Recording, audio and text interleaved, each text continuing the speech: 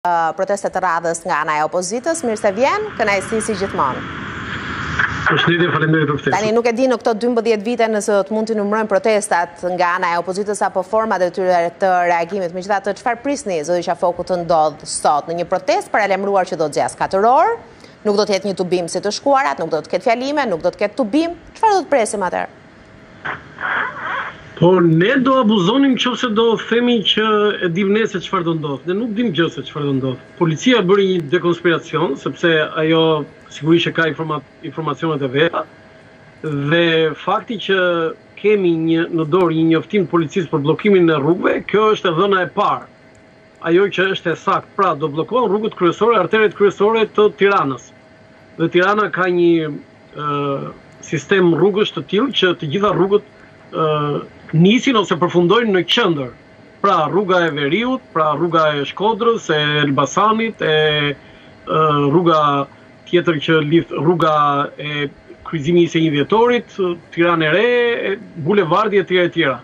Por nuk është ky problemi, ajo që më shqetëson mua është a do krijojë kjo protestë Denisa frymën e kërkuar në masën e njerëzve, sepse është shumë e thjeshtë të thuash mosbindje civile, por mosbindje civile të kufizuar vetëm te Partia Demokratike nuk quhet mosbindje civile. Tani ne gjithmonë kemi thënë që nuk kanë rëndësi numrat në një protestë, por sot ka rëndësi masiviteti?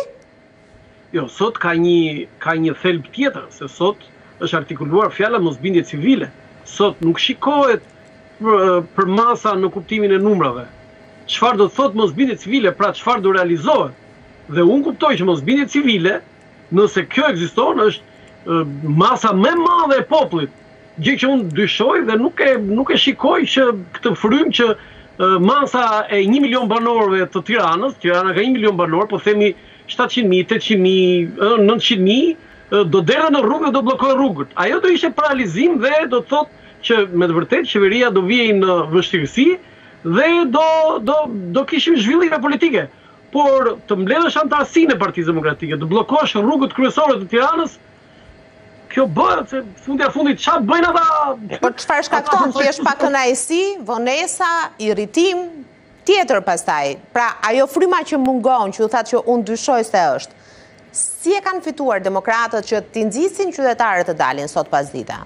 Edhe ku do dalin pastaj, se dhe kjo mbetet në, në pikëpyetje.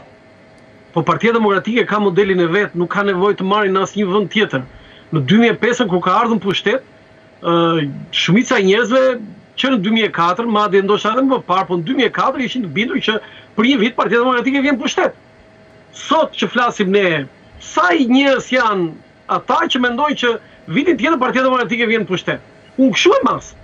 Kështu që vetë Partia Demokratike kam frikë sepse është shumë e kufizuar, shumë e fragmentarizuar dhe është e mbyllur në një mënyrë të tillë që lumturohen me njëri-tjetrin, rrinë me njëri-tjetrin, nuk janë të hapur dhe thonë dhe thonë me njëri tjetrin gjëra që që të kënaqin njëri tjetrin ndërkohë kur dëgjojnë kritika akuza etj etj thonë që ky është i Ramës ky është i pushtetit ky është i qeverisë në fakt nuk është ashtu problemi është që ata nuk e kanë hapur partinë